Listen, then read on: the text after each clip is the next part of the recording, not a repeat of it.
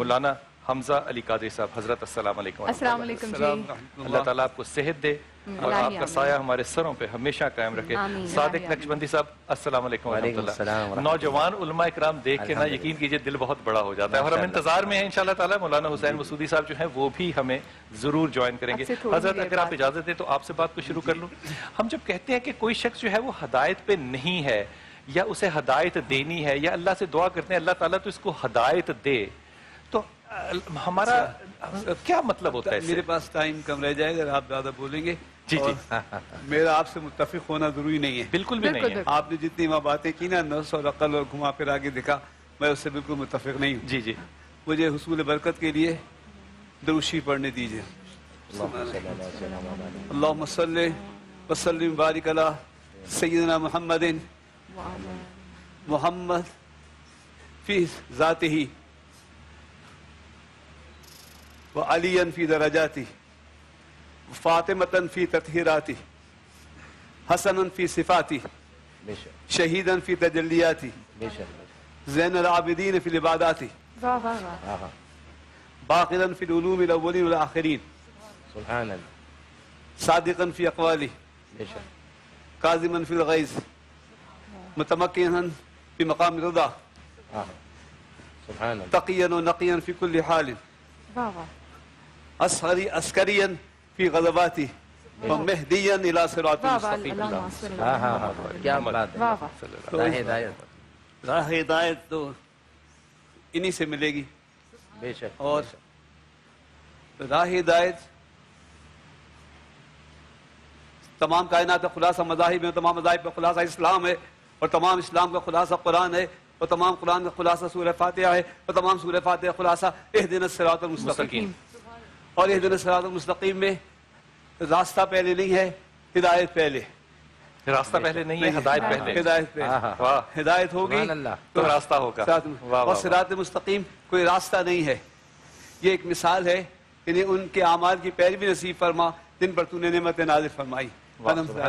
امام حسین رضی اللہ تعالیٰ عنہ علیہ السلام کے جو چاہے کہیں اللہ اکبر سچائی سے کہیں۔ اللہ اکبر۔ ان سے ہاں، ہاں۔ امام زین العابدین رضی اللہ تعالیٰ عنہ علیہ السلام انہوں نے پوچھا کہ ابا جان تو سب کو لوگ تو اللہ ہی نے بنایا ہے تو پھر ہوگا کیا؟ یہ اچھے لوگ برے لوگ ہدایت یافتہ گمراہ تو سب اللہ کے بنائے ہوئے لوگ ہیں۔ جی پھر ہوگا کیا؟ تو انہوں نے فرمایا کہ تم نے الحم شریف سورہ فاتحہ نہیں پڑھی؟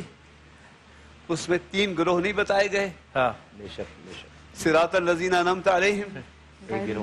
غیر المغضوب علیہم ہاں. شک کچھ وہ لوگ ہیں جو نام یافتہ ہیں ہاں. کچھ وہ ہیں جن پہ غضب نازل ہوا اور کچھ وہ ہیں جو گمراہ ہیں. اب وہ گمراہ نصارہ ہوں اور غضب جن پہ وہ یہود ہوں. لیکن انمت علیہم لوگ کون ہیں؟ انم اللہ علیہ من نبین صدیقین و سعوداء و صالحین جو انعام یافتہ لوگ ہیں وہ انبیاء علیہ السلام ہیں. صدیقین ہیں شہداء ہیں صالحین ہیں. اور یہ صالحین کا سلسلہ قیامت تک جاری رہے گا. اور جس کو جو کچھ ملتا ہے صحبت سے ملتا ہے. آج یہ ماشاءاللہ سما اباب السما رحمتیں برس رہی ہیں اور اللہ. سب سے دروازہ جو اس نسبت ہے اس مہینے سے وہ بابو ریان ہے جو جس سے روزے اوپر جاتے ہیں۔ تو ہمارا اس میں شامل ہونا خدا کے لیے ہمارے لیے اور بہتر ہدایت یافتہ لوگوں میں ہونے کی سبیل بن جائے۔ تو میری اور آپ کی ضرورت کون سا کیمرہ ہے بھائی؟ سر یہ سامنے آپ کے۔ لائٹ- کیوں نہیں جل رہی؟ اندھیرے میں کام چلا رہے ہیں۔ لائٹ خراب ہے اس کے اوپر والی۔ اصل میں حضرت راہ ہدایت کے لیے نا راہ ہدایت؟ اندھیرے سے ہی تو نکلتا پہلے نور۔ پہلے نور پھر کتاب۔ واہ واہ واہ۔ پہلے نور ہاں ہاں۔ پھر راستہ۔ ہاں ہاں۔ سب سے پہلے اللہ نے نور بنایا۔ اور حضور کو بنایا اس میں کوئی شک نہیں ہے۔ شک نہیں شک اللہ کے بارے میں ذرا زیادہ بات نہیں کر سکتا ہوں۔ ہاں میں ان کے بارے میں بہت کم جانتا ہوں۔ میں اللہ اللہ۔ نہ جاننے کے برابر جانتا ہوں۔ مجھ تک تو صرف اس کا نام پہنچے۔ ہماری انتہا معرفت کی در مصطفیٰ ہے۔ صلی اللہ علیہ وسلم۔ سبحان اللہ سبحان اللہ سبحان اللہ۔ واہ واہ واہ۔ تو اولیاء ہیں جن کے ذریعے۔ ان کی بات۔ اس کی بات تو بڑی بات۔ ہدایت جو ہے میری اور آپ کی ضرورت آپ کی آپ کی آپ کی سب کی ضرورت جو ہے وہ ہدایت ہے۔ Guidance up to right path ہدایت میری اور آپ کی سب کی ضرورت ہے۔ اس لیے اللہ تعالیٰ نے جو سب سے پہلے نور خلق فرمایا وہی عقل اول ہیں۔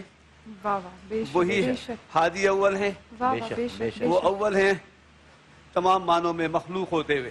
اللہ اللہ ہے حضور حضور ہیں۔ لیکن یہ تمام نفس کو عقل کو جو بھی ہدایت ملے گی حضور سے ملے گی۔ جو حضور سے قریب ہوگا جتنا قریب ہوگا اس سے ہاں، اتنی ہدایت ہو اور آپ کو بھی اگر چاہیے ہدایت تو اس زمانے میں بھی ہدایت یافتہ لوگوں کی۔ صحبت اختیار کرنی چاہیے۔ بے شک بے شک۔ واہ واہ واہ واہ۔ خوبصورت ہدایت اگر اچھی چاہیے تو صحبت۔ آپ کی آپ کی طرف اس سوال کو ایک اور اندازہ رکھتا۔ ہے حضرت ہم یہ بات سمجھتے ہیں اور مانتے بھی ہیں دل و جان سے کہ ہدایت جو ہے وہ نبی پاک کے راستے کے علاوہ اور کہیں نہیں ہو نہیں ہو سکتی۔ جو ہدایت یافتہ ہیں وہی ہیں۔ ہاں۔ تو اگر اس بات کو یوں ہی سمجھ لیا جائے تو کیا دنیا میں صرف وہی لوگ ہدایت یافتہ ہوں گے جو کہ مسلمان ہوں گے؟ یا یہ بھی کہا جا سکتا ہے کہ باقی خلق بھی تو اللہ تعالیٰ کی ہے۔ کیا اللہ تعالیٰ نے اور کسی کو ہدایت نہیں دی؟ کیا اس کے علاوہ کوئی ہدایت پہ نہیں ہو سکتا؟ اصل میں، بلال بھائی، آپ کا جو سوال ہے بڑا دلچسپ ہے۔ سب سے پہلے تو یہ کہ ہر بندہ ہدایت کی تلاش کے لیے جستجو رکھتا ہے اور خواہش رکھتا ہے۔ اس لیے کہ عالم ارواح میں جب اللہ رب الجلال نے یہ سوال فرمایا فرمایا الست بربکم؟ کیا میں تمہارا رب نہیں ہوں؟ تو یہ سوال تمام جو ہے وہ عالم سے تمام انسانوں سے سوال تھا۔ تو اس میں سب نے جواب میں فرمایا، قالو بلا، جس کے اندر مسلمان نے بھی کہا، جس کے اندر جو ہے وہ کافر نے بھی کہا۔ مگر صوفیہ فرماتے، سب سے پہلے یہ سوال کا جواب دینے والی ذات میرے آقا کی ذات تھی۔ اور آقا علیہ السلام کے وہ اپنے گمان سے کہہ رہے ہیں یا۔ کسی روایت سے کہہ رہے ہیں؟ یہ صوفیہ کرام جو ہے صوفیہ کرام جو ہمیں جن سے جس طرح آپ نے بھی فرمایا کہ ہدایت کا سرچشمہ ذات مصطفی ہے اور ان تک پہنچنے کے لیے ہمارے لیے صوفیہ کرام ہے تو اب جو ہے سب سے پہلے جو الست بربکم کا جواب جو ہے وہ آقا علیہ السلام نے دیا۔ اس کے بعد جو ان کے قریب جو تھے انہوں نے جواب دیا۔ جنہوں نے جواب دیا، صوفیہ فرماتے ان کو مقام نبوت پر فائز فرمایا۔ اس کے بعد جو ان سے، جو اس سے تھوڑا سا دور تھے، انہوں نے بقالو بلا کہا۔ تو اللہ رب الجلال نے ان کو مقام جو ہے وہ صوفیت سے جو ہے اولیاء اللہ سے ان کو نوازا۔ اس کے بعد جو ان سے تھوڑے دور تھے وہ علماء تھے۔ انہوں نے قالو بلا کہا۔ اور جو آخر میں جو تھے آخر میں تھے وہ جو تھے وہ جو کافر تھے انہوں نے بھی قالو بلا کہا۔ تو اس کا مطلب یہ ہوا کہ راہ ہدایت کے متلاشی تو سب ہی ہیں۔ کافر بھی ہے ہندو بھی ہے سب کے سب ہیں۔ مگر یہ کہ سب نے نظریہ اپنا اپنا بنا لیا۔ کسی نے جو ہے وہ سورج کو کی طرف رغبت کر کے اور کہا کہ یہ جو ہے وہ سارے عالم کو روشن کر رہا ہے یہی خدا ہے۔ کسی نے جو ہے کسی اور کو کسی نے بتوں کو اصل جو مرجع اور مقصد جو ہے وہ ذات مصطفی ہے۔ ان کو جس نے پہچانا وہی حقیقت میں جو ہے وہ وہی راہ ہدایت تو ہمارے۔ ایمان کا حصہ مگر۔ ایک بات ہے ایمان کا حصہ ہے اس سے پہلے جو جو انبیاء کرام تشریف لے کر آئے اور جو جو انبیاء کرام جو تشریف لے کر آئے وہ سب ہدایت کا راستہ لے کر آئے اور ہدایت کا پہلا جو تھا وہ لیکن یہ معیار انبیاء کرام میں ایک لاکھ چوبیس ہزار ہیں کم و بیش جی جی کم و بیش جی ہاں ہاں جی جی اچھا سر آپ کی جو- جسمندی بھائی آپ کی بات میں تھوڑی سی کاٹ رہی ہوں، بات میں کنٹینیو کریں گے کالرز ہمارے ساتھ ساتھ ہیں تاکہ ٹھیک وہ ہے۔ کافی دیر سے ویٹ۔ کریں وہ بیچارے بات کریں لیکن۔ مین وائل حسین مس- علامہ حسین مسعودی صاحب بھی ہمارے پاس یہاں پر تشریف فرما چکے ہیں۔ السلام علیکم علامہ صاحب۔ علیکم تشریف لائیے تشریف لائیے۔ جی۔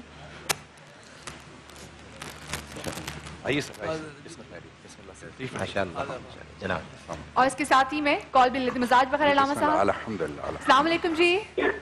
جی وعلیکم السلام۔ جی کون صاحب بات کر رہے ہیں؟ میں نعت رہا ہوں سر محمد علی حیدرآباد سے بات کر رہا ہوں۔ ملک راجہ اسماعیل صاحب کے رہائش گاہ سے۔ اچھا اچھا۔ ٹھیک نعت ہے رہا ہوں سر محمد علی حیدرآباد سے بات کر رہا جی ہوں محمد علی صاحب حکم فرمائیے۔ جی جی ہاں ماشاءاللہ سما ٹی وی پر سب سے پہلے تو مبارکباد کہ آپ احباب بہت بہترین گفتگو ہدایت کے پوائنٹ آف ویو سے کر رہے ہیں۔ میرا سوال یہ تھا کہ بھی علامہ صاحب نے ہدایت کے حوالے سے بہت اچھی تفصیل سے بات کی۔ میں ایک چیز یہ عرض کرنا چاہ رہا ہوں جیسے قرآن میں سورہ آل عمران میں آیا اولائی کا الہدم ربیم و اولائی کا ام المفلحون، کہ ہدایت پر وہ لوگ ہیں جن کو رب کی طرف سے ہدایت دی جاتی ہے۔ سب سے پہلے تو وہ لوگ کہ وہ کون سے لوگ ہیں جنہیں رب ہدایت دے دیتا ہے اور ہدایت کس شیپ میں، کس صورت میں پریکٹیکلی بندے تک پہنچتی ہے، جو ہدایت یافتہ ہو جاتا ہے، رب یقیناً وہ بے خوف ہو جاتا ہے۔ جیسے اولیاء اللہ کے بارے میں آیا، اولائی خبردار، اور جو اللہ کے ولی، نہ خوف ہے، نہ غم ہے۔ اللہ تو ہدایت کس صورت میں بندے تک پہنچتی ہے؟ ہدایت کس طرح سے آتی ہے آپ کا سوال پہنچ گیا؟ اگلے کالوں سے بات کرتے ہیں۔ جی السلام علیکم۔ جی ہاں۔ السلام علیکم بھائی۔ جی وعلیکم السلام۔ جناب۔ آواز بڑھا دیجیے پلیز کالر کی۔ السلام علیکم جی۔ جی ہلو السلام علیکم۔ جناب علی کیا اس میں گرامی اور کیا سوال آپ کا؟ جی میں ذہن بات کر رہا ہوں راول پنڈی سے۔ کیسے ہیں آپ؟ ٹھیک الحمدللہ الحمدللہ۔ بیٹا کیا سوال آپ کا؟ سر میرا دو سوال ہیں۔ سب سے پہلا سوال تو یہ ہے کہ ماشاءاللہ اللہ آپ کے پاس اتنے بڑے بڑے علماء آتے ہیں روز کا میں آپ کا روز پروگرام فالو کرتا ہوں۔ تو میرا سوال یہ ہے کہ اس طرح عورت کا آپ کے سامنے بیٹھ کے میک اپ کیا ہوا ہے ٹھیک ہے؟ یہ آپ کے سامنے بیٹھ۔ یار یہ بات کرنے تو میں کیونکہ اس کا جواب پڑا تفصیل سے دینا چاہتا ہوں۔ جی ماشاء اللہ تعالیٰ۔ پہلے سوال کا جواب دیتی میں پہلے دوسرے کا جواب دیتا ہوں۔ کہ یا تو میں یہ جو جواب مکمل میں پہلے دوسرے دوست کا بھائی کا جواب دیتا ہوں ہاں، اچھا۔ حضرت حضور اکرم غور فرمائیے کہ نبی پاک نے ایک دن رکھا ہوا تھا خواتین سے بات کرنے کا ایک بات۔ یہ تبلیغ ہے۔ اور یہاں پہ جو لوگ بھی آتے ہیں اور جیسے بھی آتے ہیں وہ اللہ اور اللہ کے رسول کا نام لے رہے ہیں۔ وہ لوگوں کی شکلیں دیکھ کے ان کے اوپر اپنی رائے نہیں رکھ رہے۔ جب اللہ تعالیٰ کوئی حکم فرماتا ہے تو آپ کو بھی آنکھیں جھکانے کے ان احکامات میں سے ایک حکم ہے۔ کتنا ہی اچھا ہو کہ فرض کیجیے کہ میں گناہ میں ہی ملوث ہوں فرض کیجیے۔ تو آپ میری ہدایت فرما دیجیے۔ اگر آپ کے خیال میں کوئی ایسی چیز ہے جو کہ حیا کے پردے سے بالا ہو رہی ہے تو آپ اپنی نگاہوں کو نیچے کر دیجیے۔ لیکن مجھے ایمانداری سے بتائیے سینے پہ ہاتھ رکھ کے کہ کیا آپ آپ کو یہ زیب دیتا ہے کہ آپ کیونکہ ہم دین میں سب بہن بھائی ہیں آپ کسی بہن اور بیٹی کے بارے میں یوں آ کے توقیر کی کمی کریں صرف اپنے اس خیال کی خاطر جو کہ آدھا بیمار ہے۔ خدا کے واسطے اس ملک میں اکھر کوئی چیز آسانی سے علماء لوگ دے رہے ہیں ہمیں تو ہمیں سیکھنے دیجیے۔ ہم نے ان کے قدموں میں بیٹھ کے ہی سیکھا ہے۔ اور اگر یہ بچیاں ہماری نہیں سیکھیں گی تو ہماری اولادیں آگے کس طرح کی نکلیں گے اور بلال بھی اگر کوئی چیز اچھی کی جائے تو خدا کے لیے اس کو اپریشیٹ کرنا سیکھیں۔ آپ اگر یا کہ علم میں کوئی نقص اگر نکلے میرے سوال میں کوئی نقص نکلے میری بات میں کوئی نقص نکلے تو مجھے ضرور بتائیے۔ لیکن اگر کوئی چیز ہم اچھی کر رہے ہیں تو اس میں خدا کے لیے ایسے مت ہو بھی سکتا ہے۔ اسی بیٹھے ہیں ہمارے نقص کو ٹھیک اور میں اسی لیے بیٹھی ہوں کہ میں آپ کے سوال لے کے یہاں تک پہنچاؤں۔ میں کوئی علما نہیں ہوں میں آپ ہی میں سے آپ ہی کے گھر سے آپ ہی کی بہنوں میں سے اٹھ کر آئی ہوں۔ اللہ تعالیٰ آپ کو ہدایت دے ہمیں بھی ہدایت دے۔ حضرت پہلا سوال بچے کا بڑا اچھا تھا کہ کس طرح یہ اس کی پریکٹیکل امپلیمنٹیشن کیا ہوگی کہ یہ ہدایت یافتہ ہے؟ اچھا دیکھیں سب سے بڑی بات تو یہ ہے کہ جو آپ پہلا جو آپ سوال فرما رہے تھے کہ آپ کا پہلا سوال کیا تھا؟ ماشاءاللہ۔ جی جی جی میں میں اس کہتا تھا کہ وہ جو ہدایت ہے ہاں۔ کیا یہ مسلمانوں کے لیے ہی جی، جی۔ وقف ہے یا اس سے باہر کا کچھ دائرہ اچھا، دیکھیں سب سے بڑی بات یہ ہے کہ ہر نبی کا جو بھی کوئی پیروکار ہوگا وہ نبی اس کو ہدایت کی طرف لے کر آئے گا۔ تو اور اس نبی کی وہ پیروی پہ چلے گا۔ مگر جب آفتاب آ جائے تو اب ستاروں کی ضرورت نہیں ہوتی۔ تو اب جب آفتاب ختم نبوت جب جلوہ فرما ہو گئے تو اب تمام جو ہے انبیاء کرام کے پیروکاروں کو اب ان کی اتباع کرنی ہوگی۔ اور ان کی اتباع کرے گا تو پھر اس صورت میں وہ ہدایت یافتہ ہوگا۔ اور ان کو چھوڑ کر اگر وہ اپنے دوسرے اپنے نبی کی پیروی میں لگ جائے اور ان کا انکار کرے تو اس صورت میں وہ ہدایت یافتہ نہیں ہوگا۔ بڑا اچھا پیغام پہنچ دوسری بات یہاں پر عرض کروں گا کہ اگر کوئی کہے کہ مجھے حضور کی ضرورت نہیں میں کعبہ جاؤں گا کعبہ کا طواف کروں گا کعبہ کے چکر لگاؤں گا اور میں جو ہوں وہ جو اللہ والا والا ہو جاؤں گا تو کعبہ کا چکر ابو جہل بھی لگاتا تھا ابو لہب بھی لگاتا تھا ادبا شیبہ بھی لگاتا وہ کعبہ والا تھا اللہ والا نہ تھا۔ جو رسول اللہ والا ہوا وہی اللہ والا ہوا جس نے نبی کو نہیں مانا وہ کلمہ سیدھا پڑھے یا الٹا پڑھے ہمیں اس سے کچھ لینا دینا نہیں ہے۔ یہ راستہ ہے جو اللہ کی طرف لے کر جاتا ہے۔ حضرت یہ جو علم صاحب اس بچے نے بات پوچھی اس کو تھوڑا سا آج کی دنیا کے حوالے سے دیکھیے کہ وہ کون سے اداب ہوں گے وہ کون سے طریقے ہوں گے جس سے یہ پتا چلے کہ یہ شخص ہدایت یافتہ ہے، یا صرف یہی بات کافی ہوگی کہ نبی کو میں فالو کرتا ہوں اور میں یہ کلیم کر لوں؟ بسم اللہ الرحمن الرحیم وبہی نستعین وہو خیر المعین. الحمد للہ رب العالمین، والصلاة والسلام علی رسول الکریم وعلیہ الطاہرین وصحابہ المنتخبین. دیکھیے موضوع ماشاءاللہ سے جو اپنی جگہ ایک مکمل ہے کہ خدا بند عالم نے ہمیں اس دنیا میں بھیجا۔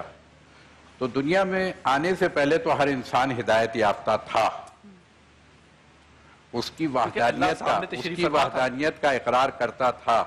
اور بعد از قیامت بھی جب ہم اس دنیا سے اس دنیا میں چلے جائیں گے تب بھی انسان ہوگا۔ اس کو ہدایت تو مل جائے گی کہ جس ہدایت کی بات ابھی ہو رہی ہے کہ وہ اس وقت اس چیز کا عارف ہو جائے گا اس چیز کا سے آشنا ہو جائے گا کہ کیا ہے جو بھول گیا تھا سبق اسے پہلے بھی یاد تھا بعد بھی یاد ہوگا۔ تین حالتیں ہوگی۔ پہلی جی۔ حالت میں وہ دیکھ رہا ہے وہ مانتا ہے۔ دوسری حالت میں وہ نہیں دیکھ رہا عقل استعمال کر رہا ہے اور راستہ کو لے کر بھولا جی۔ ہوا ہے۔ ہاں۔ تیسری حالت میں پھر وہ خدا کو دیکھ رہا ہے پھر یقین کی منزل۔ اب ہم بات کرتے ہیں صرف درمیان والی حالت کی۔ جی۔ ہاں۔ جب اس نے کون سے ٹول کو کن چیزوں کو استعمال کرنا ہے کہ وہ اپنی عقل کو استعمال کرے اور اس راستے کی تلاش نہ کرے صرف اس پہ گامزن ہو۔ دیکھیے اس میں ایک خوبصورت جملہ تو عقل کے حوالے سے، بس یہ بھی میں کہوں گا کہ کچھ روایت حضرت آدم کے حوالے سے کہ جب حضرت آدم اس دنیا میں آئے تو آنے کے بعد خدا مند عالم نے تین چیزوں کو بھیج دیا ایک ساتھ اور اس میں البتہ روایات میں تھوڑا سا اختلاف بھی ہے کہ اس میں عقل بھی تھی، اس میں حیا بھی تھی، اس میں علم بھی تھا یا دین کو بھی رکھا گیا ہے۔ تو ایک سوال کا جواب بھی اسی میں آ جائے گا کہ اب وہاں پر حضرت آدم سے کہا گیا کہ آپ ان میں سے کسی ایک کا انتخاب کر لیجیے دو کو رخصت ہونا ہے واپس جانا ہے۔ تو حضرت آدم نے جس چیز کا حیا انتخاب کیا وہ حیا تھی۔ اور حیا کا انتخاب جب آپ نے فرمایا تو پھر حضرت جبریل نے کہیے کہ یہ کہا کہ اب علم کو کہہ لیجیے یا دین کو کہہ لیجیے۔ کہ کہا کہ آپ واپس چلے۔ تو ان دونوں نے ایک ہی جملہ کہا کہ ہم دونوں واپس نہیں جا سکتے۔ اس لیے کہ خدا نے یعنی دین بھی عقل بھی اگر عقل کو جب ہم مان لیتے ہیں دونوں چیزوں کو رکھیں عقل بھی اگر حیا کے تابع نہ ہو تو عقل بہت خطرناک ہو جاتی ہے۔ جیسے کہ بعض اوقات معاشرے میں نظر آنے لگتا ہے کہ ہم عقل کل بن جاتے ہیں ہم۔ خود حیا کے پہلو علامہ صاحب یہ تکبر کا علم ہونا بالکل ایک اور جدا بات ہے اور علم ہونا مثال کے طور پہ جتنے بھی علوم مسلمانوں کی آپ تاریخ میں دیکھیے وہ اپنے علوم سے ہوتے ہوئے ہی علم کے راستے سے اللہ کی طرف آئے اور یہی بات جو ہے وہ ان لوگوں پہ بھی لاگو ہوتی ہے جو کہ مسلمان نہیں ہیں۔ مثال کے طور پہ ایک جملہ کہتا ہوں۔ ایک شخص جس نے کہ بلیک ہول تھیوری بنائی اس نے جو پہلا جملہ اپنی کتاب میں لکھا جب اس نے کتاب لکھی تو اس نے کہا کہ did God had a choice not to create the universe یہ طنز تھا کہ کیا خدا کے پاس یہ چوائس تھی کہ وہ کائنات نہ بناتا پھر اس نے جب اپنی چوتھی کتاب لکھی جس میں بلیک ہول تھیوری بتائی اس نے کہا کہ there is a being which said be and it happened کوئی ایسی شے ہے جس نے کہا کن فیا فیاکون اور وہ بن گیا۔ اچھا۔ وہ اپنے علم کے راستے سے چلتا ہوا یہاں آیا حالانکہ یہ مسلمان نہیں تھا۔ وقفہ لیتے ہیں چھوٹا سا اور واپس آتے اسی گفتگو کو کنٹینیو کرتے ہیں۔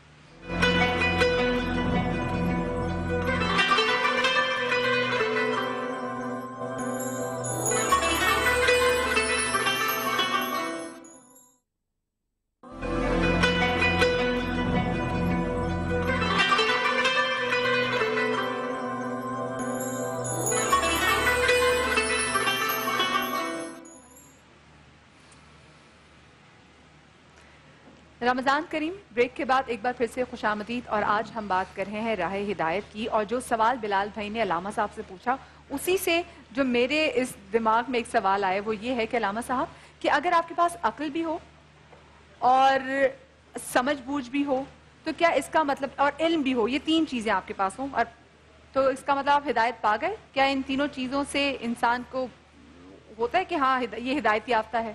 دیکھیے اگر یہ ہدایت کے لیے جو میرا خلاصہ نکلا حضرت تھا پہلے یہ فرما دیجیے کہ ہدایت کس چیز کو کہتے ہیں؟ ہم اچھا، کہتے ہیں ہدایت ہے یہ ہدایت ہے کیا؟ ہدایت تو دیکھیے مسلمان کے حوالے سے جب بات کی جائے گی تو یہ تو بنیادی قاعدہ ہے کہ ہر مسلمان ہدایت یافتہ ہے۔ جب وہ دنیا میں متولد ہوتا ہے تو اسے بنیادی ہدایت ملی ہوئی۔ سر جس سے وہ یافتہ ہوا ہے وہ ہے کیا؟ انسان بھی۔ جی ہاں آپ اس سے آگے بڑھیں گے تو جو بھی انسان اس دنیا میں آ رہا ہے وہ ہدایت یافتہ ہوتا ہے۔ مگر یہ کہ پھر اپنے آپ کو وہ ہدایت سے نکال دیتا ہے اس پر کیا ہے؟ پردے ڈالتا چلا جاتا ہے اور پھر ہدایت سے دور ہوتا چلا جاتا ہے۔ اسی لیے خود اگر ہم یہ دیکھیں گے تو دن میں پانچ مرتبہ آپ نماز, نماز پڑھتے ہیں اور ہر نماز میں دو مرتبہ کم از کم آپ کیا ہے؟ سورہ الحمد کی تلاوت کرتے ہیں اور اس میں بھی بار بار آپ تکرار کیا کر رہے ہوتے ہیں۔ اہ دن المستقیم۔ یعنی گویا خدا وند عالم مجھے اس ہدایت پر باقی رکھے۔ یعنی گویا کہ خدا میری ہدایت کا اہتمام یعنی طلب کس سے کر رہے ہیں؟ خدا سے ہدایت کو یہ ضروری نہیں ہے کہ ایک دفعہ جو ہدایت مل گئی اس سے باہر نہیں جا سکتا انتہائی آسان کرتا جی۔ ہوں حضرت ایک جو میرے لیے جو ہدایت ہے وہ یہ کہ جو نبی پاک نے کہا اس کی اکتبا کرنا ہے۔ جو ان سے ان کے خاندان نے کہا جو ان سے محبت کرنے والوں نے کہا جو میر المومنین نے کہا ان پہ چلنا ہدایت ہے۔ اس پہ کوئی دو رائے نہیں ہے۔ میں تو سوال بالکل اس سے آگے کر رہا ہوں آپ سے کہ یہ فرمائیے کہ وہ لوگ جنہوں نے کلمہ مثال کے طور پہ نہیں پڑھا لیکن انہوں نے دنیا میں کوئی برائی بھی نہیں کی۔ اور انہوں کے اس کے باوجود ہم مسلمانوں کی بھی اور غیر مسلمانوں کی بھی خدمت جو ہے وہ انتہا کی کی۔ تو کیا ہم یہ سمجھیں گے کہ وہ ہدایت یافتہ نہیں ہے یا ان کے لیے کیا پیراڈائم ہوگا؟ ان کو کیسے ہم دیکھیں گے؟ دیکھیے اس میں ایک چیز کی طرف اور ہم بڑھ جائیں آگے۔ کہ اگر فطرت کی ہم اتباع کر رہے ہیں، فطرت کی فطرت کی، جس کو عقل بھی آپ کہہ لیں تھوڑی دیر کے لیے، اگر ہم اس کی اتباع کریں، جو عقل کبھی بھی دھوکہ دیتی نہیں ہے، اگر کیا ہے، ہم اس کو علم پہ استوار کریں، مگر ہم اپنی عقل، یہ جس کو ہم عقل کہتے ہیں، اس سے بڑھ کر ایک اگلی منزل جو ہے، وہ یہ ہے کہ جو یعنی نظام کو تسلیم کرے، فارمولے کو جو اڈاپٹ کر رہی ہے، اپنی مرضی کو اس میں دخل نہ دیں تو پھر وہ فطرت خود بخود یہ بتاتی ہے کہ ہدایت کیا ہے۔ یعنی خدا کی طرف سے یہ ایک اہتمام ہوتا ہے جسے ہم رسول باطنی بھی کہتے ہیں کہ خدا نے ہر انسان کو دو طرح کے رسول دیے۔ ایک رسول ظاہری ہے ایک رسول باطنی ہے۔ رسول باطنی کیا ہے جسے ہم عقل بھی کہتے ہیں کہ وہ خود بخود بلند کراتی ہے اس چیز کو کہ کیا ہے خدا کی طرف انسان بڑھے۔ میں اس بات کو اپنی جو جو مجھے سمجھ آئے میں آپ سے عرض کرتا ہوں۔ ہم اللہ کو سمجھنے کے لیے تین راستے اختیار کر سکتے ہیں۔ ایک، ہم اپنے نفس کا، ہر شخص کو پتا ہوتا ہے کہ برائی کیا ہے۔ جو شراب پینے والا ہے، اس کو بھی پتا ہوتا ہے کہ شراب بری چیز ہے۔ اس پہ کوئی دو رائے نہیں ہے۔ برائی کا پتا ہوتا ہے۔ انسان کو اندر کی گھڑی بتا رہی ہوتی ہے کہ میں برا ہوں۔ دوسری چیز ہے دنیا کا دیکھنا۔ مثال کے طور پہ میں یہ دیکھوں کہ میں ایک پتا بھی نہیں بنا سکتا۔ اللہ تعالیٰ نے اتنے درخت اتنی کلمیں بنائی ہیں۔ یہ کون ہے جو بنانے والا؟ اگر میں لیکن یہ دونوں چیزیں جو ہیں یہ ادھوری ہیں یہ مکمل عقل نہیں ہے۔ جو واحد عقل مکمل اللہ کی شناخت لے کر آتا ہے وہ صرف نبی کی ذات ہے جو آپ کو مکمل کہانی دیتے ہیں۔ ہم جب آپ یہ کہتے ہیں کہ ہدایت یافتہ ہے۔ میں یہ سمجھنا واقعی چاہ رہا ہوں کہ ہم ہدایت اپنے ہی اپنے ہی زاویے سے کسی شے کو ہدایت کہہ رہے ہیں یا ہدایت کوئی چیز ہے جو دنیا میں بکھیری جا سکتی ہے؟ کیا چیز ہے جس کو ہم ہدایت کہہ رہے ہیں؟ کون ہے یہ ہدایت والے؟ السلام مائک بیٹا آواز اونچی کر دیجیے گا۔ بسم اللہ الرحمن الرحیم السلام علیکم نہیں نہیں میں ہینڈ مائک دے رہی ہوں ان کو ان کی آواز جو ہے۔ بھائی مائک والے۔ آپ کو۔ مولانا صاحب ڈانٹ رہے میرے بھائی آ جائیے کوئی مسئلہ کہاں نہیں سے کہاں پہنچ گئی؟ مجھے کئی رسول ہو گئے کئی دن ہو گئے مجھے اللہ بسم۔ اللہ الرحمن الرحیم۔ جی۔ جی جی بالکل۔ بسم اللہ الرحمن الرحیم السلام علیکم۔ ہمارے بزرگوں کی بڑی خوبصورت گفتگو ہے اور میں اسی بات کو آگے بڑھانا چاہوں گی اور جب ہدایت کی منزل کی بات آئے گی تو بلال بھائی میں تین نکات کا تذکرہ کرنا چاہتی ہوں۔ کون سے تین نکات جب آقائے دو جہاں صلی اللہ علیہ وآلہ وسلم ہماری جان قربان ہمارے خاندان قربان ہمارے ماں باپ قربان اللہ کے آخری نبی صلی اللہ علیہ وآلہ وسلم پر جب آپ نے مکے کی سرزمین پر دعوت تبلیغ کا اعلان کیا تو آپ دوش پر ردائے رسالت اوڑے ہوئے مکے کی سنگلاق سرزمین پر کہتے ہوئے چلتے تھے کہ قولو لا الہ الا اللہ تفلحو کہو لا الہ الا اللہ تاکہ تم فلاح اور کامیابی کی منزلوں کی جانب گامزن ہو سکو۔ تو ایک اللہ کے نبی کا اعلان۔ دوسرا جیسے کہ ہمارے کالر نے بتایا اولائے کا اللہ خدامن ربہم۔ قرآن مجید میں سورہ بقرہ جہاں سے آغاز ہو رہا ہے کہ اللہ تعالیٰ یہ چاہتا ہے کہ جو اللہ سے ہدایت طلب کرے اللہ تعالیٰ اسے فلاح یافتہ بنا دے۔ ایک اور عظیم اعلان ہے وہ یہ کہ جب تیرہویں رجب کو خانہ کعبہ میں مولا کائنات علی ابن ابی طالب علیہ السلام کی ولادت ہوئی اور آپ تین دن کی عمر میں اللہ کے رسول صلی اللہ علیہ وآلہ وسلم کی آغوش میں آئے تو اور آپ نے جب اپنی زبان کو کھولا تو آپ نے سورہ مومنون کی تلاوت فرمائی۔ تمام کتابیں اس بات پر متفق رہیں کہ قد افلح المومنون الذین هم فی صلاتهم خاشعون۔ یعنی فلاح کی بات ہے، ہدایت کی بات ہے، نجات کی منزلوں کی بات ہے۔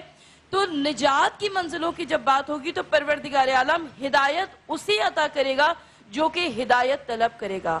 بغیر طلب کیے ہوئے ایک انسان کو کچھ نہیں ملتا۔ مثال کے طور پہ میں اللہ سے دعا کرتا ہوں میں اللہ سے دعا کرتا ہوں کہ اللہ تو مجھے ہدایت دے۔ تو میں اللہ سے کیا ایکسپیکٹ کروں؟ کیا ہاں۔ کیا مجھے کیا ہونا چاہیے دل میں کہ مجھے کیا ملے گا؟ وہ کیا چیز ہوگی جو مجھے ملے گی؟ ہاں، ہاں، بہت کچھ ملے گا۔ اللہ تعالیٰ کی جانب سے بہت کچھ ملے گا عقل ملے گی تقوی ملے گا پرہیزگاری ملے گی۔ ہدایت کی دولت میں کیا کچھ شامل ہے کہ اللہ کے رسول صلی اللہ علیہ وآلہ وسلم کے لیے اعلان ہو رہا ہے؟ قرآن مجید کا اعلان ہے آیات ہی وہ آیات کی تلاوت کرتے تھے۔ یزکیہم لوگوں کے نفوس کا تذکیہ کرتے اچھا، تھے۔ میں آپ کی بات کو مانتے ہوئے بڑھاتے ہوئے آپ سے اچھا، میں آپ کی بات کو بڑھا رہا ہوں۔ اس کا مطلب یہ ہوا کہ جو شخص مسلمان نہیں ہے یا کلمہ کو نہیں ہے وہ ہدایت یافتہ نہیں ہے۔ ایسا ہی ہے نا؟ دیکھیں قرآن کی روح سے پہلی شرط بتائی گئی آیات کی تلاوت جس کے سامنے کفار اور مشرقین کے سامنے اللہ کے رسول صلی اللہ علیہ وآلہ وسلم نے آیات کی تلاوت فرمائی۔ تو آیات کی تلاوت کا پہلا اثر یہ ہوا کہ لوگ مسلمان ہو گئے کلمہ پڑھا اور مسلمان ہو گئے۔ لیکن ابھی بات تمام نہیں ہوئی۔ اس کے بعد اگلا درجہ تھا تسکیہ نفس کا۔ نفس کا تسکیہ کیا گیا۔ یہ مشکل ہوگی بات۔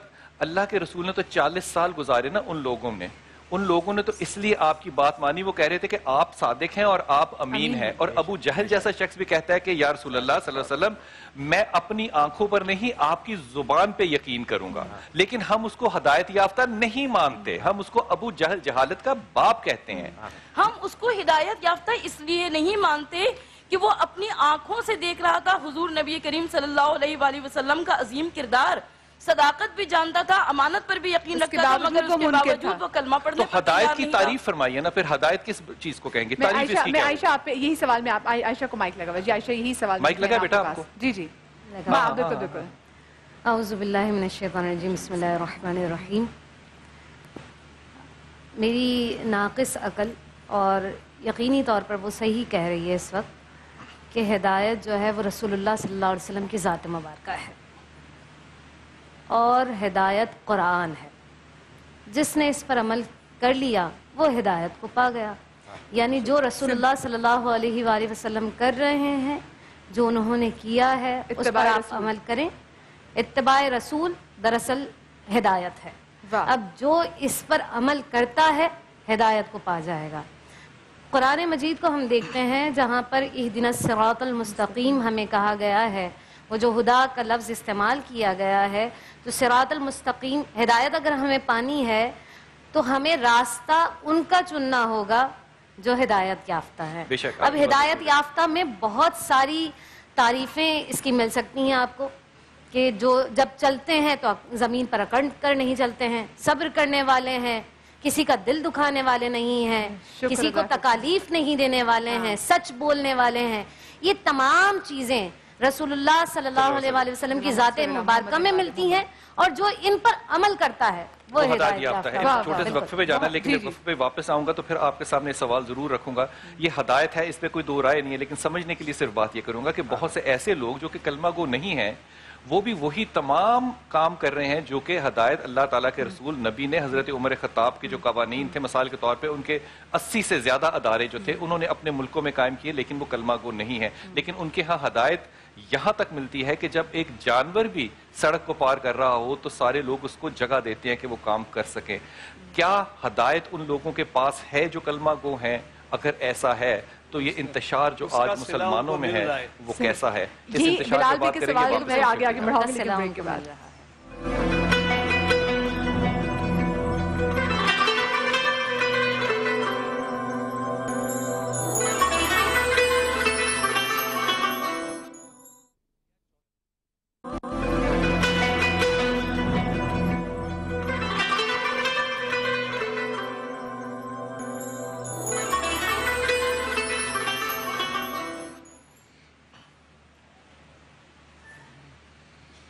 اللہ الرحمن الرحیم۔ بریک کے بعد ایک بار پھر سے خوش آمدید اور آج ہم بات کر رہے ہیں راہ ہدایت کی، کیسی، کیا چیزیں جو ہدایت وہ بھی عائشہ نے بہت ہی دو لائنوں میں مختصر کر کے بتا دیا کہ ہم ہدایت سے کیا مراد ہے۔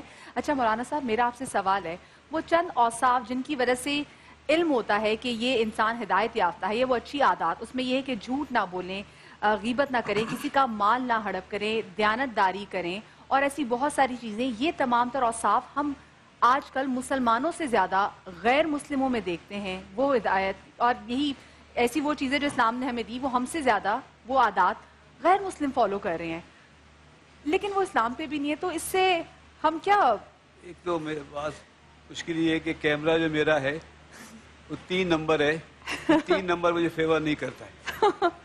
ابھی کیمرہ چینج کروا دیتے ہیں۔ ایک نمبر اچھا۔ تین نمبر سے جھگڑا ہوتا ہے۔ اچھا۔ آپ کو کہے پانچ نمبر والا کیمرہ منگوا دیں۔ کیا بات۔ تو میں یہ مجھے وہ علم العداد سے بھی میرا دلچسپی ہے نا۔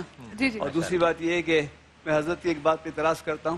جنہوں نے کہا کہ مکتبہ جعفیہ اس کے ہاں، جعفی ایک بات ہی یاد رکھئے جو سید ہوگا وہ کسی نہ کسی امام کی اولاد ہوگا بے شک بلکل بلکل اور وہ جعفری نہ ہو یعنی ماننے کی حد تک یہ نہیں ہو سکتا۔ ہاں۔ ہم جو ہے یہاں ملت کے خلاف کو ختم کرنے کے لیے۔ آئے ہیں۔ بے شک۔ واہ، بڑھانے کے لیے بہت کی۔ حتیٰ کہ پوری انسانیت جس کا دکھ لے کے آپ باتیں کر رہے ہیں ان انسانوں تک بھی ہم بات پہنچائیں گے۔ بے شک۔ ہدایت کے لیے گائیڈنس کے لیے ہم جنس کا ہونا ضروری ہے۔ انسان کے لیے کوئی انسان ہی رہنما ہوگا۔ جنات بھی جنات ہوں گے۔ فرشتے معصوم ہیں۔ دو ہی مخلوق ہے جنہیں ہدایت کی ضرورت ہے انسان اور جنات۔ تو انسان کی ہدایت کے لیے کوئی نہ کوئی انسان ہوگا۔ انسان کامل تو سرکار صلی اللہ علیہ وسلم۔ لیکن اس دور میں ہم بھی انٹرفیت میٹنگز میں جاتے ہیں اور ہم سے براہ راست آپ تو مسلمان ہو کے سوال کر رہی ہیں۔ اس سے ایک وکر بشپ کے نیچے ہوتا ہے۔ تو اس نے گفتگو میں یہی کہا کہ آپ لوگ اپنے آپ کو بالکل علیحدہ پکڑتے ہیں اور اپنے آپ کو افضل سمجھتے ہیں۔ میں نے کہا کس نے کہا؟ نہیں آپ مسلمان جو ہیں۔ میں نے کہا میں تو آپ کو ہی مسلمان سمجھتا ہوں۔ کہنے کیوں؟ میں نے کہا مسلمان پیدا ہوئے تھے۔ ہاں۔ یہ تو بعد میں جو دین ہے وہ آپ کو دیا گیا یہ اختیار کر لیا گیا۔ ہر بچہ دین فطرت جیسا حضرت نے دین فطرت پیدا ہوتا ہے دین اسلام پر پیدا ہوتا ہے۔ تو اس کے ماں باپ ہیں تو اس کو جو دین دے دیتے ہیں۔ ہماری ذمہ داری ہے کہ جہاں ہم کوئی برائی دیکھیں عقیدے کی ہو یا عمل کی ہو تو ہم اس کی اصلاح کریں اور پیار سے کریں۔ میں جو ذرا زور سے بول رہا ہوں تو اس میں کوئی ناراضگی یا ڈانٹ نہیں ہے۔ لیکن اصل میں باتیں اتنی پھیل جاتی ہیں کہ پھر اس کو سمیٹنا جو ہے مشکل ہوتا ہے۔ مشکل ہوتا ہے۔ لیکن یہ میری ذمہ داری ہے۔ اگر میں اس محفل میں ہوں ایک تو جو میں کہوں اس کے لیے میں جواب دوں۔ اور اس محفل میں جو کچھ کہا گیا کل مجھ سے لوگ کہیں گے کہ حمزہ بھائی آپ وہاں بیٹھے ہوئے تھے انہوں نے یہ بات کہی آپ نے نہیں کچھ بولا۔ تو یہ میری بڑی ذمہ داری ہے کہ میں اس بات کو کلیئر کروں۔ تو حضرت ہم نے تو ڈائریکٹ اس سے کہا کہ آپ تو مسلمان پیدا ہوئے تھے، یہ بعد میں عقیدہ لے لیا جاتا ہے۔ یعنی ہاں یہ بات تو ہے، مجھے معلوم نہیں، میں تو بہت چھوٹا تھا، تو والدہ نے بھیج دیا تعلیم کے لیے۔ ایک تو بات آپ کو معلوم ہے کہ مغرب میں آج کل کہ کسی کو اپنے باپ کا نام صحیح نہیں معلوم۔ تو یہاں یہاں بھی اللہ محفوظ جی ہاں یہ یہ بہت بڑی غلطی ہے۔ اگر کسی خاتون سے آپ بچے کو دیکھ کر پوچھیں اس کے باپ باپ کا نام بتائیے۔ تو وہ کہے گی، آپ کو تہذیب نہیں، کہ باپ کا نام پوچھ لیں۔ تو بہرحال وہ بیچارہ کہنے لگا کہ مجھے نہیں معلوم، مجھے جو پڑھایا گیا، وہ میں پڑھاتا ہوں، لیکن دل سے میں یقین نہیں کرتا ہوں اس پہ بلیو نہیں کرتا ہوں۔ میں نے یہی کہا کہ آپ اور ہم سب مسلمان ہیں سب مسلمان پیدا ہوئے، ماں باپ نے جو دین دے دیا۔ اب اگر کہیں گمراہی ہے، عقیدہ خراب ہے، تو اس کی اصلاح کی ذمہ داری ہماری ہے۔ جیسے آپ نے یہاں بلایا تو میں اسی خاطر آیا اپنی اصلاح بھی چاہتا ہوں اور پھر اسی کیمرے کے توسط سے جس کا آدمی موبائل سے کھیل رہا ہے تو یہ ہدایت ملے گی تم کو۔ اللہ اکبر تو اتنے فاصلے میں تو اتنا فاصلہ ہے۔ بے شک۔ تو دنیا میں کتنا فاصلہ ہوگا؟ خیر وہ ہماری ذمہ داری ہے۔ تو جہاں تک بات پہنچتی ہے ہم پہنچاتے ہیں۔ اور الحمد للہ احسانی جیسا آپ نے فرمایا کہ اللہ تعالیٰ نے ایک فطرت میں ایک بات دی ہے۔ ایک تو دی ہے حق کی تلاش ہر شخص میں جبلت میں ہے حق کی تلاش۔ اب وہ اس تلاش میں کوئی مظاہر میں رہ گیا مخلوقات میں رہ گیا یہ ہے یہ یہ ہے۔ اور کسی کو انسان مل گیا ہدایت یافتہ تو اسے ہدایت ملے گی۔ جو ہدایت یافتہ شخص کے پاس پہنچے گا اسے ہدایت ملے گی۔ اور اور چیزیں اسے ہدایت نہیں دے سکتی ہیں۔ تو کوشش یہ کرنا چاہیے کہ کسی ہدایت یافتہ کے پاس بیٹھا صحبت اختیار کی جائے۔ کالر ہیں ان سے بات کر لوں اجازت ہو تو۔ بات کرنی چاہیے۔ جی السلام علیکم بھائی۔ السلام علیکم۔ اوکے۔ Okay okay. حضرت معافی اچھا چاہتا ہوں۔ دوسری بات یہ ہے کہ ادھر وہ بہت سی جگہ سے رک رک کے قرآن کے ٹکڑے پڑے جا رہے تھے۔ میں کہاں سے شروع کروں؟ میں تو سب سے بڑا شیعہ تو میں ہوں۔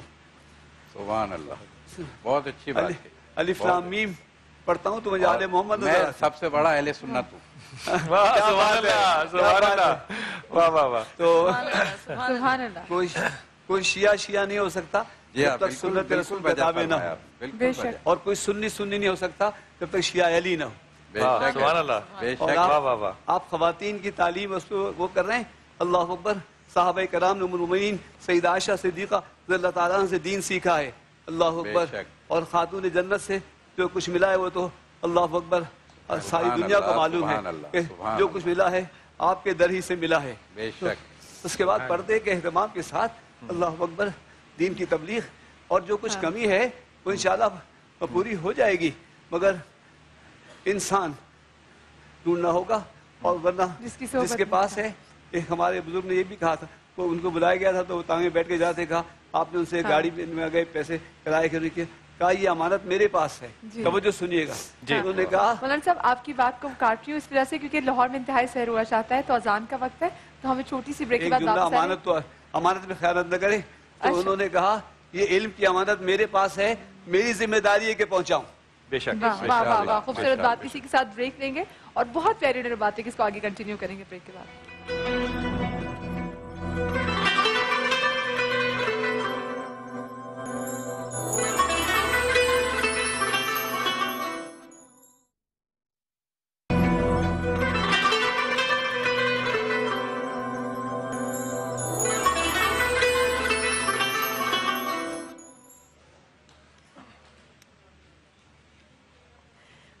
بعد ایک بار پھر سے خوش آمدید اور میں شکریہ ادا کرنا چاہوں گی کوکا کولا کا روح افزا کا کنلے کا دل پسند کا اور ساتھ میں سویا سپریم آئل کا جن کے توسط سے ہم نے اتنی زبردست اور اتنی کشادہ جو ہے وہ کشادہ ورڈ صحیح ہے نا کشادہ بہت کشادہ بہت نا ایک۔ وسیع ایک وسیع دسترخوان کا جو ہم نے یہاں پہ انتظام کیا ہے اور یہاں پر ہمارے ساتھ اتنے بے روزے دار ہیں اس توسط سے یہاں پر ہم سمیت ہیں۔ ہاں ہم ہم۔ سمیت جو ہے وہ یہاں پر اور میزان کا بھی شکریہ ادا کرنا چاہیں گے دل پسند کا جسے میں نے بھی نام لیا کوکا کولا اور ایدھی کی جو پکچر ہے کوکا کولا پہ وہ یہ ہمیں ثواب کا کام ہے کہ آپ اس میں پیسے ڈالیں اور یہ ان پیسوں کو ڈبل کر کے عیدی کو دیں گے جو کہ بہت ہی خوبصورت بات ہے اور بہت اس کی بہت زیادہ ضرورت بھی ہے۔ جی تو بلال رائے جی۔ ہدایت پہ بات کر رہے تھے۔ حضرت ایک سوال جی ہاں، جی ادبن اور آجزن کر رہا ہوں۔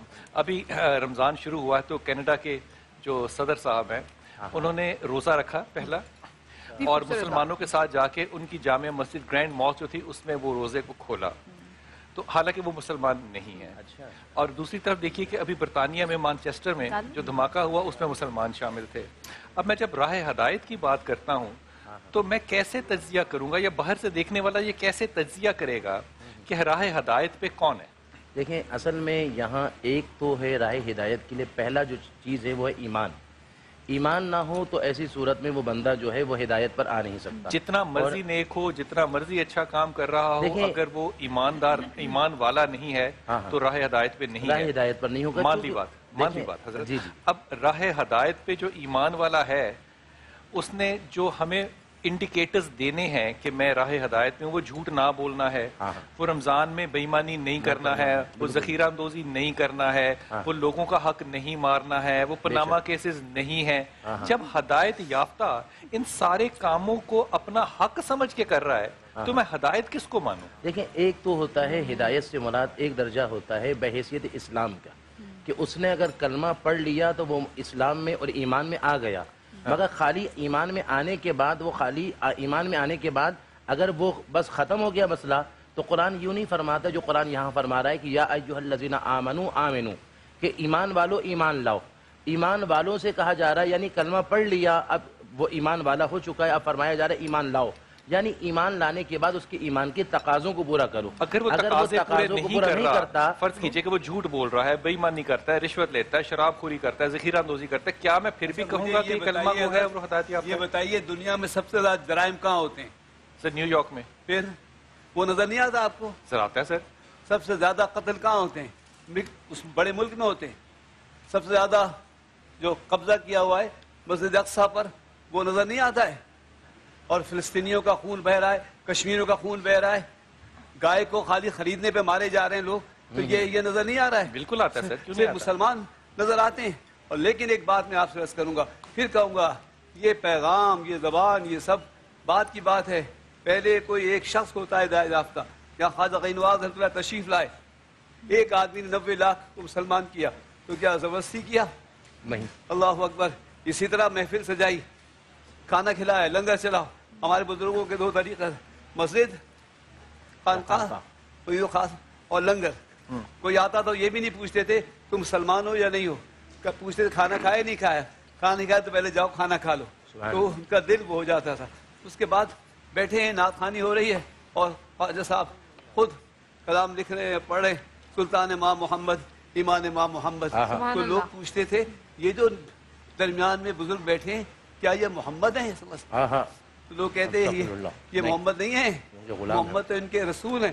تو وہ کہتے تھے یہ تو معین ہے تو کہتے ہیں معین اتنے اچھے ہیں تو محمد کتنے اچھے ہوں گے؟ تو ہم نے اسلام کی تبلیغ کا پیرائے بدل دیا۔ تو سر ہمیں ہم جو ہدایت یافتہ تھے ہم ہدایت والے کیوں نہ رہے پھر؟ نہیں ماشاء اللہ بہت زیادہ لوگ ہدایت یافتہ عالم اسلام میں مسلمان جو ہیں وہ ہیں۔ کچھ لوگ ضرور ایسے ہوں گے لیکن برائیاں اب بھی غیر مسلم معاشرے میں اللہ اکبر جہاں رشتوں کی تمیز نہ رہی ہو۔ اللہ اکبر کیسے ہو سکتا ہے؟ تو اب بھی غنیمت ہے۔ اس معاشرت اسلام پر ہو تو وہ بہت غنیمت ہے۔ ہاں ہم دوسروں کو بھی محبت سے پیار سے سمجھانا اور پھر جو سرکار کی بات انہوں نے فرمائی کہ انہوں نے کہا کہ لا الہ یہ بعد میں فرمایا۔ پہلے فرمایا میرے تمہارے درمیان زندگی گزاری کیسی گزاری؟ سبحان اللہ۔ تو حضور نے پہلے اپنے آپ کو پیش کیا پھر اسلام کو پیش کیا۔ تو ہمیں پہلے اپنے کردار کو پیش کرنا ہوگا۔ تو اگر حضرت وہ کردار نظر نہ آ رہا ہو تو پھر کیا طریقہ حضرت اگر آپ کو نظر نہیں آ رہا مجھے نظر آیا تو میں مرید ہوا نا۔ سبحان اللہ۔ مجھے کوئی نظر آیا تو میں مرید ہوا۔ سر کوئی اصول بھی تو ہوگا نا؟ ہاں؟ صرف ذاتی رائے تو نہیں ہوگی نا؟ کوئی اصول بھی تو مرتب ہوگا؟ کوئی اصول مرتب ہوگا یا صرف ذاتی رائے ہوگی جس سے آپ تمام انسانیت کی بلائی والے کام کہہ رہے ہیں نا یہی باتیں ساری ہیں۔ لیکن اس حقیقت کے ساتھ ہیں کہ چاند ہی کو نہ مانو چاند کے بنانے والے کو مانو۔ سورج کی پرشش نہ کرو سورج کے بنانے والے کو مانو۔ تو جب تک آپ یہ نہیں جائیں گے جانیں گے کہ سب کائنات کا بنانے والا کون ہے تو اس وقت تک آپ گائیڈنس اگر اگر میں آپ کی بات کو بڑھاتے ہوئے اگر میں جو سمجھا ہوں اس سے وہ کہ جو راہ ہدایت ہے وہ ایمان اور ایمان کے درجات ہیں۔ بے کیا وہ عمل بھی ہے؟ دیکھیں اصل میں ایک تو ہوا کہ اس نے کلمہ پڑھ کر وہ ایمان میں آ گیا اور ہدایت کے اندر شامل ہو گیا اور ہدایت یافتہ ہو گیا۔ مگر اس کے بعد اس کے تقاضوں کو جب پورا نہیں کرے گا تو پھر وہ ہدایت کاملہ پر نہیں پہنچا۔ ہدایت کاملہ جس طرح میں نے عرض کیا کہ قرآن فرما رہا ہے یا میں ہدایت میں شامل ہو گیا اور ہدایت یافتہ نہ ہوا یہ کیسے ہوتا ہے؟ دیکھیں اصل میں یہ ہے کہ الفاظ اکیلے ہدایت میں شامل ہو گیا ہدایت یافتہ نہیں ہوا۔ میں کہہ رہا ہوں وہ تمام غیر مسلم جو اچھے کام کر رہے ہیں ان کا دنیا میں ان کا سلا مل رہا ہے۔ اور وہ کیا شہرت مل رہی ہے پیسہ مل رہا ہے سلطنت پاور اچھا۔ بنی ہوئی ہے۔ آج دنیا کی پاور کیوں ہے ان کے ہاتھوں میں؟ اچھے کاموں کی وجہ سے۔ انہیں اچھے کاموں کی وجہ سے اور تحقیق کی وجہ سے۔ ہم ابھی تک چاند سورج کا حساب ہمیں تو رمضان کا چاند نظر نہیں آ رہا ہے وہ چاند پہ پہنچے ہوئے ہیں۔ تو بات تو ہے نا ان کو ملا نا سلا۔ لیکن یہ اور بات ہے کہ تو پھر ان کا آخرت میں حصہ نہیں ہے. وہ آخرت کو مان ہی نہیں رہے. وہ آخرت کو مان ہی نہیں رہے تو حصہ کیسے ملے گا؟ اور آخرت کو ماننا ہوگا تو ابھی ہم نے امریکہ سے ایک فون آیا. اچھے خاصے بچے اسلام کے عقیدے پہ امی امی کچھ بھی نہیں ہے کچھ بھی نہیں ہوگا. اللہ۔ سب سب ختم ہو جائے گا ایسا۔ مطلب جیسے ہیں بس ختم۔ پیدا ہوئے مر جائیں گے۔ ان کی والدہ نے مجھے فون کیا تو اول تو وہی الحمد کا وظیفہ ہی بتایا میں نے سنانے پڑھنے کو۔ اور میں نے کہا آپ ان سے یہ پوچھیے گا اور وہ بات پھر بات پہنچتی ہے مولا علی تک۔ وہ جو میں نے شیعہ کہا تو آپ اس میں نہ میرے پہ سوالات نہ آ جائیں۔ ہمارے بہت بڑے بزرگ امام شافی نے کہا اہل بیت کی محبت اگر شیعہ ہے تو میں سب سے بڑا شیعہ میں ہوں۔ اچھا، اشد شیخ عبدالعزیز محمد ذہن نے اللہ اکبر رد عقائد باطلہ پہ کتاب لکھی ہے تحفہ اسنا شریعہ۔ لیکن اس میں یہ بات کہی ہے کہ اگر اہل بیت کی محبت اللہ یہ اس سے ہونے سے کوئی شیعہ ہوتا ہے تو سب سے بڑا شیعہ میں ہوں۔ اب یہ جو ہدایت دنیا کی بھلائیوں کی تحقیق کے بعد عمل کر رہے ہیں اس کا صلاح ان کو دنیا میں مل رہا ہے۔ آخر تو یقین کرے گا اس سے آخر تو یہ صلاح اللہ کی طرف سے ہی مل رہا ہے سب کچھ اللہ کی طرف سے۔ میں نے تو اتنی مشکل بات پہلے کہہ دی تھی۔ امام حسین نے پوچھا کہ سر سب سبھی ہے تو پھر سب اللہ اکبر۔ یہ وضاحت کر دی گئی ہے کہ جو ہدایت کو مانے گا؟ یہ نہیں انمت علیہ نبی صدیق شہدہ صالحین. نبی صدیق شہدہ صالحین ان کی جو پیروی کرے گا اس کو آخرت میں نہ ملے۔ لیکن اگر آخرت کو قائل نہ ہو کسی صالح کو مانتا نہ ہو آخرت کو مانے گئی نہیں تو پھر آخرت اچھا ایک اگر جیسے آپ کسی ہدایت یافتہ گھر میں یعنی کہ آپ کسی اچھے ایمان والے فیملی میں آپ پیدا ہوئے ہیں اور اس کے بعد جیسے آج کل بچے جو ہے وہ اس سے پھر جائیں تو ان کو کس طریقے سے واپس سے یہی کہا نا کہ اپنے بچوں سے یہ کہیے مولا علی کی بات آ گئی تھی ادھر بات نکل گئی۔ حضرت مولا علی رضی اللہ تعالیٰ عنہ سے ایک یہودی بہت گفتگو کر رہا تھا کہ ہم صحیح ہیں آپ صحیح ہیں۔ تو آپ نے فرمایا یہ یہ کچھ بھی نہیں ہے۔ پر دنیا پیدا ہوئی ہے اور ختم ہو جائے گی۔ کچھ بھی نہیں ہوگا جو آپ کے مسلمانوں کا عقیدہ ہے نا جنت جہنم یہ فلا کچھ نہیں پوچھا جائے گا۔ تو آپ نے فرمایا اچھا ایک بات بتاؤ۔ تھوڑی دیر کے لیے میں اگر یہ مان لوں کہ تم جو کہہ رہے ہو صحیح ہے تو نہ تم سے پوچھا جائے گا نہ مجھ سے پوچھا جائے گا۔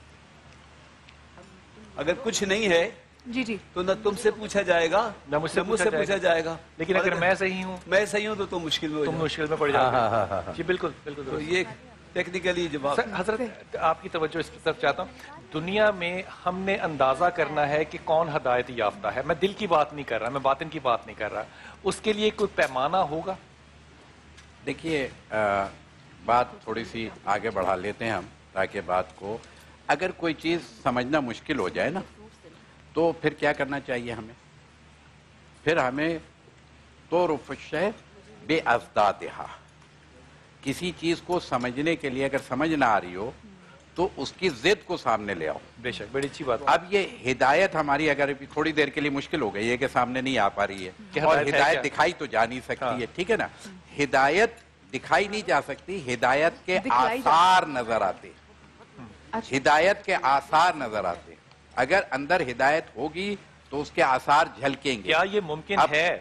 کہ ہدایت میرے اندر نہ ہو لیکن میرے میں اس کے اثار نظر آ رہے ہوں۔ ابھی ابھی اس میں اگلے مرحلے میں وہ بھی حل ہو جائے گا۔ اب تھوڑی سی دیر کے لیے اور آسان کرنے کے لیے البتہ یہ ایک کیونکہ جو ہدایت کا کلیم کر رہے ہیں میں جی، اثار نظر نہیں آ رہے ہیں اگلے مرحلے میں جب داخل ہوں گے تو شاید اب ہدایت کو تھوڑی سی تقسیم کر دیں۔ جی۔ ہدایت کیا ہے؟ یعنی انسان کی عملی۔ ہدایت عملی ہے اور ہدایت ذہنی۔ اگر ہدایت ذہنی ہو گئی ہے اور ہدایت عملی نہیں آئی یعنی کہ مینٹلی طور پہ آپ کلیر ہو گئے ہیں۔ مینٹلی طور پہ آپ ہدایت لے لیا میں ایک مثال دے رہا ہوں۔ پریکٹیکلی نہیں آ رہا مثال دے رہا ہوں۔ مثال کے طور پہ میں نے ذہنی طور پہ سمجھ لیا کہ سچ بولنا اچھی بات ہے جی، جی، لیکن میں سچ بولتا نہیں تو اب مجھے یہ بات کہنا کہ میں نے سمجھ لیا ہے یہ کلیم ہے نا کسی کا یہ آدھی ہدایت ہے۔ سچ بولنا وعدہ خلافی نہ کرنا یہ ساری چیزوں پہ میرا ایمان ہے۔ سب ہدایتیں میرے پاس ہیں میں یہ جملہ اپنے منہ سے ادا کر رہا ہوں کہ میرا یہ ایمان ہے لیکن وہ نظر اگر نہیں آ رہا اور میں ویسا کر بھی نہیں رہا تو وہ میرا ایمان کیسے ہے؟ کیا میں واقعی کلیم کر رہا ہوں یا وہ ہے؟ کلیم ہی ہے وہ۔ حقیقت میں کلیم ہی ہے۔ لیکن پھر بھی اس کو نفی نہیں کر سکتے تو ذہنی ہدایت آ گئی اب عملی نہیں آ رہی ہے۔ اور ہو سکتا ہے کہ کچھ لوگ ایسے ہوں جو عملی ہدایت تو پا گئے ہوں اور لیکن ذہنی ہدایت نہ ہو ان کے پاس۔ تو یہ جو مشکل ہے نا ان دونوں کی وجہ سے مشکل آ رہی ہے۔ تو اصل ہدایت کیا ہے کہ جو ذہنی ہدایت بھی ہو اور عملی ہدایت بھی ہو تو اسی کو ہدایت کاملہ کہیں گے۔ تو یہ اس ہدایت کاملہ کو اگر میں ذہن میں رکھتے ہوئے جی، جی، معافی کے جی، ساتھ۔ مثال کے طور پہ ابھی ویٹیکن سٹی کے اندر جو سیرین آئے ان تیس فیملیز کو بٹھا کر ان کے پاؤں کو دھویا گیا ان کے پاؤں کو صاف کیا گیا ان کو عزت اور توقیر دی گئی اور ویٹیکن نے روزہ رکھا اور ان کے ساتھ کھولا کہ یہ مہاجرین ہیں ہم ان کے ساتھ کھڑے ہیں۔ مجھے یاد آیا وہ پہلی ہجرت جب مسلمان ہجرت کر کے گئے تھے اور وہاں ان کو پناہ دی گئی تھی۔ میں میں ادب سے بات کر رہا ہوں۔ وہ جب نظر ہمیں ہدایت آ رہی ہے کسی کی ظاہری طور پہ میں کسی کے باطن میں تو نہیں جھانک سکتا۔ تو وہ جب راستے میں سے سیرینز آئے سارے وہ کتنے کتنے بڑے مسلمان ممالک کو چھوڑ کے یہاں تک پہنچے۔ اس کے لیے ایک ہدایت یافتہ جی، مرحلہ یہ ہے کہ ہم اس دنیا میں بہت سارے لوگ ہو سکتا ہے کہ انہیں ہدایت ظاہری نہ ملی ہو جس کی وجہ سے وہ صرف وہ لفظ کہ جو کیا ہے عملاً تو توحید کا قائل ہو زباناً اور لسانن قائل نہ ہو۔ اچھا اور ذہناً تو وہ توحید کا قائل ہے۔ ہاں۔ لسانن وہ کیا ہے توحید کا قائل نہیں ہے جس کی وجہ سے ہم مشکل میں آ رہے ہیں۔ تو اس کے لیے خدا ایک ایسا انتظام کرے گا کہ جو اس دنیا سے جانے کے بعد اور محشر میں اٹھنے سے پہلے جسے ہم برزخ کا مقام بھی کہتے ہیں جی، جی۔ وہاں پر خدا پھر ایک مرتبہ ہدایت کا اہتمام کرے گا۔ اگر وہ قبول کرتے ہیں تو پھر کیا ہے؟ اچھی بات کی ہے اس بات کو اس بات کو آپ نے کہ ان کو ایک موقع اور ملے گا کہ وہ جی۔ اگر ذہنی یعنی طور پر اور زبان سے نہیں کہا بڑی خوبصورت بات کی۔ ابو جہل ہوں گے تو مارے جائیں گے۔ آپ کی بات بڑی خوبصورت واپس آؤں گا ایک حدیث پیش کروں گا کہ اللہ کے رسول نے اپنے آپ کو بارش کیوں کہا؟ واپس آتے ہیں وقفے سے۔ السلام علیکم۔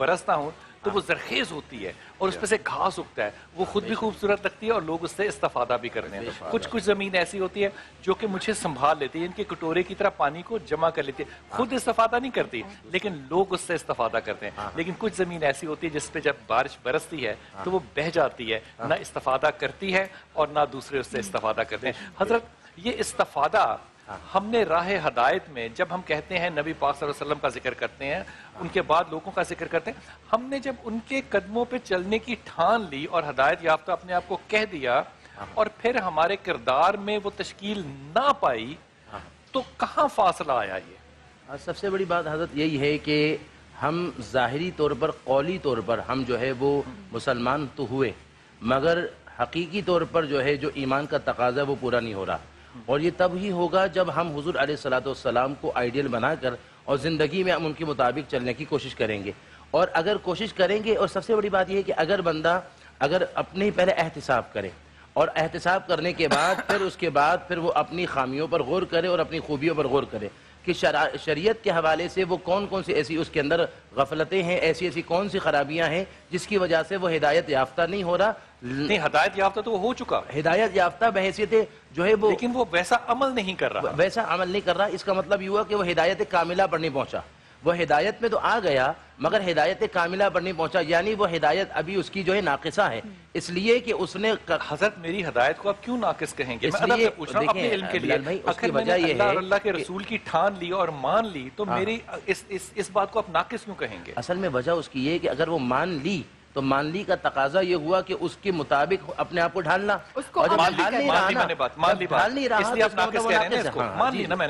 اب ایک شخص جو ہے اس نے پہلا حصہ نہیں کیا ہاں، ہاں۔ لیکن دوسرا حصہ جو ہے وہ کر لیا۔ ہاں، اس کو بھی ناقص کہیں گے؟ اس لیے کہ پہلے چابی ہوگی تو تالا کھلے گا جب تالا کھلے گا تو اندر جائے گا اور جائے گا تو پھر باقی منزلوں کو پورا کرے گا۔ اور اب چابی نہیں ہے اور وہیں سے ٹپ کر آ گیا اور ایسے تو ایسی صورت میں وہ بندہ جو ہے نا وہ نہیں ہوگا۔